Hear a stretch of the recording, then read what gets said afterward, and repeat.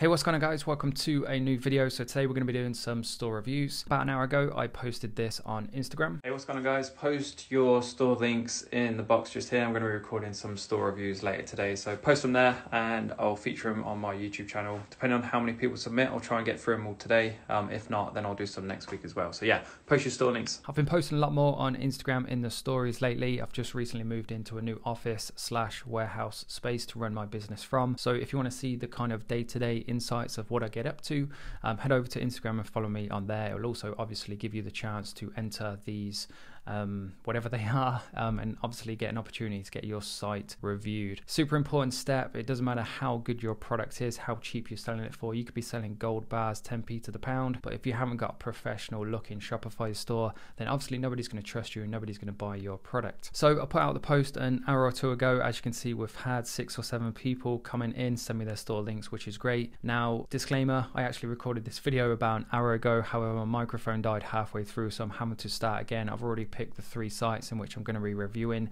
and that is OLEALDN Luxury Riot and CareBabyOnline.com. So stay tuned if you want to see those. Before we jump into it, just a couple of points to mention. Number one, if you haven't guessed already, I'm going to be reviewing these sites on a mobile device. The reason being is because the majority of your customers will come from mobile devices if you are including them as well as desktop users. Number two, I'm going to be super honest as well. And please forgive me if I come across as harsh in times. However, I wouldn't be doing anybody any favors if I was not to kind of point out the things that are wrong with a site. At the end of the day, if I skip over something that needs fixing, it could actually end up costing you money. So I'm going to be super critical, super honest, and treating these like they were my own stores and recommending the improvements I would personally make myself. So, store number one, we have OLEA London. Um, apologies, OLEA London.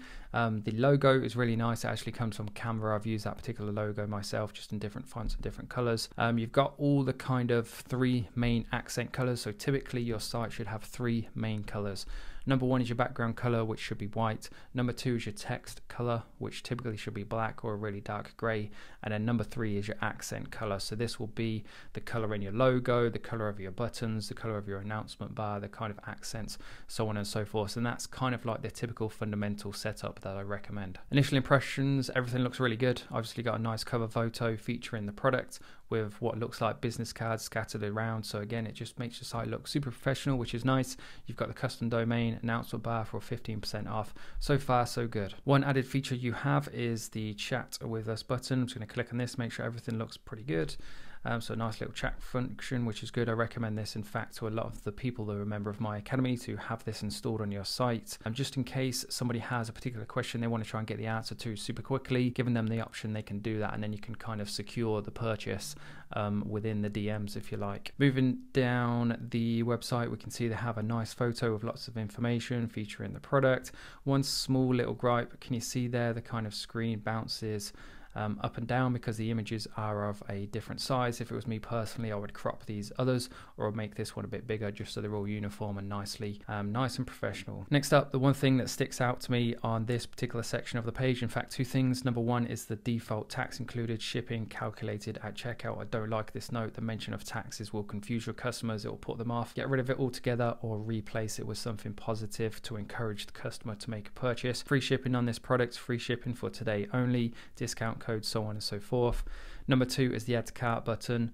Um, it's hollowed out. It makes it difficult to see, difficult to identify. Trust me, it sounds silly, but making this a solid color will make it pop out on the screen and in turn, more people will actually click it. You have the dynamic checkout button, which is spot on. That comes recommended by myself. I typically remove Google Pay. Nobody really uses it and just have the traditional Apple Pay, which is super quick um, and also PayPal too. Moving down, we can see you've got a nice sized font and text, super condensed, which is good. Lots and lots of different information. A nice before and after picture, looking good so far. And then you go into more and more detail, which is really, really good. The more information about a particular product is great. However, the one criticism I would have in this section here is the fact there's just too much text. People are super lazy nowadays, to put it bluntly. Somebody's going to make their mind up about your products in the first sort of 10 to 30 or 40 seconds about whether they're going to buy it or not. In that time frame, they're not going to read through all these different paragraphs. Try and break it up into bullet points or try and just kind of highlight the positive things which help sell the product in bold. Moving down, we have an image to break up the text, which is good. Lots and lots of more information, a couple more paragraphs. And then we have this image here, which is cool. It demonstrates how the product is working and what it's used for acne, blackheads, grease. Um, solely extracting blackheads does not hurt the skin. So to me, that's kind of sounds like broken English. It's a bit obvious that it wasn't written by somebody who speaks English as their first language. So if this was personally me, and I was going to be investing my money into this site, I would invest money into some custom original images that make um, that look super professional and don't have broken um, English in them. Next up, he or she, sorry, um, goes into the benefits. Again, lots and lots of information, which is good. Just try and highlight those key points in bold. Three adjustable suction powers, nice. Just demonstrates how the image works. I think a video or a GIF of somebody using this product would kind of like 10x the legitimate the legitimateness, if that's even a word. I think you're trying to get what I'm saying. A video or a GIF of somebody actually using this would kind of legitimize that's what I was looking for um, this product that much more. More features, six tips for suitable adjustable suction levels, lots and lots of information, the same image again, and then a what's in the box kind of bullet pointed. Moving into the product reviews, if it was me, I would make these stars, it looks like it looks to me, you can customize these stars to a certain color. So I would make these the accent color of your site, just kind of make them pop and again tie in with that branding throughout the site to make make it all look uniform. One thing a lot of people forget to do is read through the reviews and just get rid of any that have broken English or in a foreign language. This will put customers off. Um, 53 reviews, which is good. I typically recommend over 20, so spot on there. I'm not going to read through all of these for the sake of the video. Moving into the footer, then there's a couple of things here which I see are missing. There needs to be a COVID 19 prevention um, policy. People expect to see this nowadays, given the current times we're living in. And then I think it wouldn't hurt also to add a track your order page to this as well, just to kind of help legitimize your site. Okay, so moving into store number two, we have Luxury Riot. Um, but before get into it, I just want to very quickly say if you're still watching, still with me, thank you very much. I really do appreciate the support on the channel. Um, if you haven't subscribed yet, please do make sure you do um, so you don't miss any future videos. And of course, any comments or questions, video suggestions, whatever they are, just comment them down below. I do read every single comment, so if there is something you want to ask me, um, then I will get back to you. That being said, then let's jump into store number two. So we have luxuryriot.com custom domain, which is good. Um, you can see they've got the accent colors, but it's a bit mix mash bit mix match sorry you can see in the images there's like light blues. At the top we have dark blues and then in the images if we scroll down the buy now button the kind of check marks here on the left hand side there's loads of different kind of blues loads of different kind of reds and lots of different colors basically. So if it was me i'll try and make it as uniform as possible so everything looks nice and, and well uniform and branded and just really kind of slick and professional. 24 hours flash sale 50% off plus free shipping worldwide. To me that's a bit too much of an offer, a bit too much going on there. I'll just reduce that down to potentially 50% off for new customers, use code blah blah blah, um, or just simply a free shipping worldwide option. Looking at the logo, um, in my opinion, it's a bit amateurish. Um, I think this could be designed to look a bit better. I would make the L within the blue um, hexagon white, just so it stands out a bit much, um, a bit more. Sorry. What you've got to consider is people see hundreds of ads, hundreds of products every single week, not just on their phones, but when they're out and about. Unless your brand like really sticks in somebody's mind and is really, really easily identifiable, then they're not going to notice it on a Facebook news feed, or they're not going to notice it on that other website in which you're advertising on, or wherever it may be.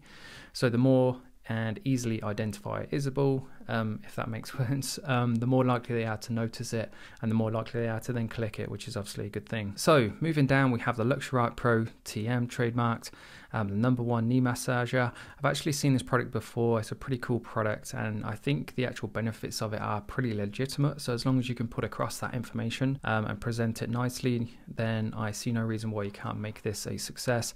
Ultimately, this is all going to come down to the content um, you have behind it. You need to get people, real life people, um, people who fit your target market using this product, being videoed using this product and talking about how good it is. This is what will sell it. Um, we have a nice, okay looking image here. There's no option to like scroll across, so this is the only image I can see at this point, which isn't isn't great if you ask me. Um, I would try and get some scrolling images so people can flick through, see all the information super quick. Like I mentioned in the previous review, those first 10 to kind of 20, 30 seconds somebody's on your site is key. Moving down, we have the buy now button, which is kind of shaken in blue. I'm not a big fan of these, however, I have seen them work on successful stores before, so each to their own. Something you could perhaps split test. No dynamic checkout button. I would definitely add this, give people the option to use um, a trusted payment method such as PayPal. You've got your kind of um, check marked benefits and features, easy to digest, no problems there. And then straight into a bundle offer. This needs to be at the bottom of the page. At the moment, I haven't seen enough information to commit to spending £85. There's no way I'm going to commit to spending £140 this quickly. This needs to be further down the page. Moving down, then we have the money back guarantee, flash sale, free ebook, and compression socks but then the countdown timer isn't working. So again, this is a big put off. If I was a brand new customer come to this site now, I probably would have left already. So this needs sorting out as soon as possible before you start running ads. We also see in broken English that needs to be also seen in or as seen on something like that. Um, they adopted Luxuriate with like a grey TM on the right. So just make that all blue, make it all uniform. Then we have kind of like a blue outline mark with different reviews, which is fine. Um, moving down, this is quite a nice looking image, just kind of pointing out different features of the product. The device your body has been waiting for, perhaps make this a bit more specific. Um, your knees have never thanked you so much. I mean, that was pretty rubbish in fact, but just something more specific. Make it clear, 100% crystal clear exactly who this product is for and what body part is for. Key features um, in bold and in the kind of dark blue, which is a nice, nice feature. You've got the buy now button if you haven't noticed, which is stayed on screen, which is good. Products like this, there's so much information to put across. You need to make it available to add to cart um, at any point. So having that kind of sticky buy now button is good. Discover the TENSTM technology. More and more information, lots and lots more information. Really like this image. If you can condense all these images and put them at the top so somebody can scroll across and see all the info super quick, um, I think that would be a really good thing. More and more info. You've got the branded box there, which makes it more look more legitimate, more professional.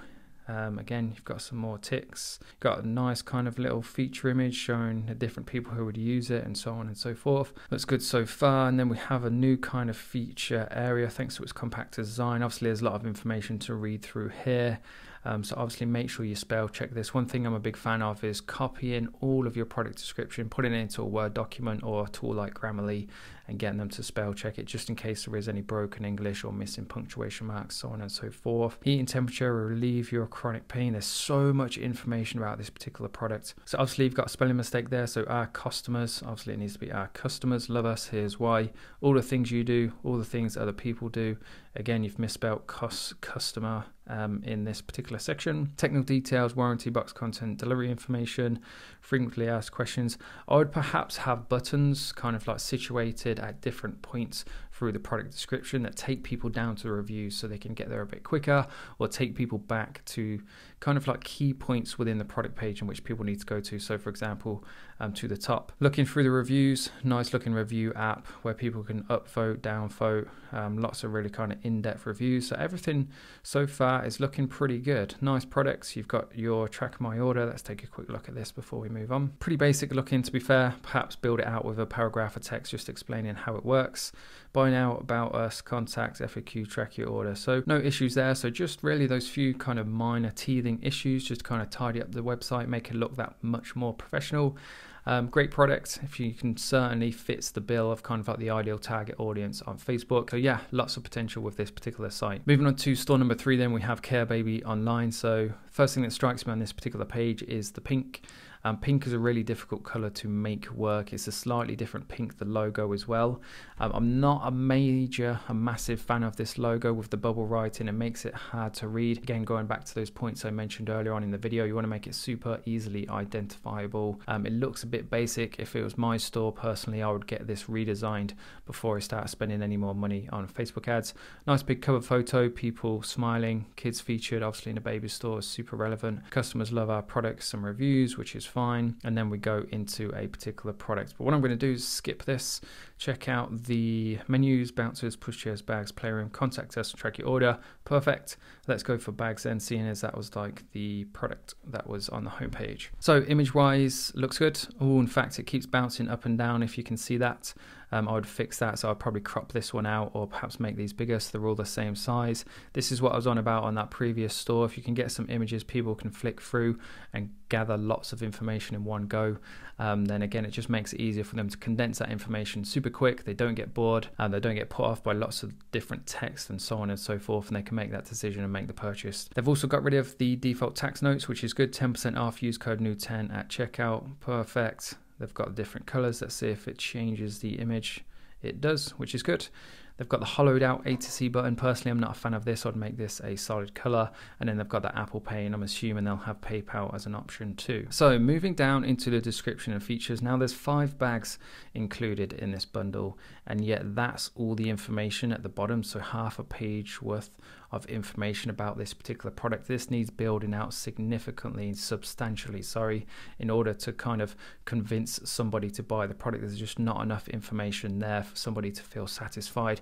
What you've got to try and sometimes do is kind of take a step back, think of all the particular questions a customer would think about a product or need answering about a product, answer all those questions within the description, within the images, and if you do that correctly, then they're going to make a purchase. Moving in, we have great reasons to buy from us, buy with confidence. This section on the screen here looks absolutely wicked, in my opinion. I've seen this on lots of different stores before, lots of different successful stores. So if you can take this kind of same design and same premise and kind of same principles of this and apply it to the description and features, um, then I think you could really, really make it work.